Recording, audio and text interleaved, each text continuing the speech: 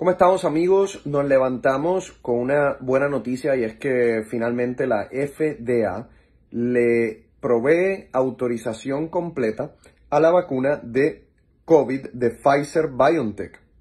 Algo que yo sé que muchas personas estaban esperando, eh, especialmente algunas que no se habían puesto la vacuna porque lamentablemente confundían eh, la aprobación de uso de emergencia con algo experimental, cuando una cosa no tiene que ver con la otra. De hecho, tres de cada diez personas que no se han vacunado han dicho que no se han puesto la vacuna porque todavía eh, la FDA no la había aprobado de manera completa. Para que usted tenga una idea, cuando la FDA aprueba un tratamiento, en este caso la vacuna, eh, por uso experimental, le requiere a la compañía que tenga por lo menos dos meses de data que demuestre que el tratamiento es seguro.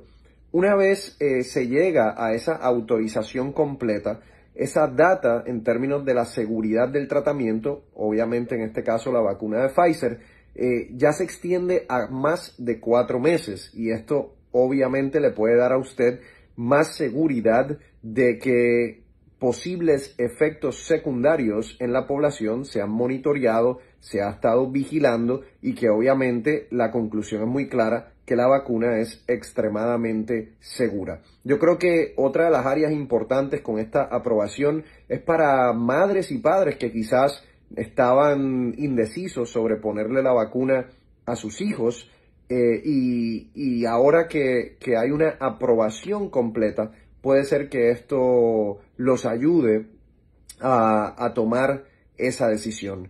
Una de las cosas que yo creo que también va a empezar a ocurrir es que eh, existen compañías, eh, compañías grandes, eh, empresas grandes, que estaban esperando esta autorización para crear mandatos en términos de sus empleados y las personas que trabajan para esa empresa que tengan que eh, recibir la vacuna de COVID.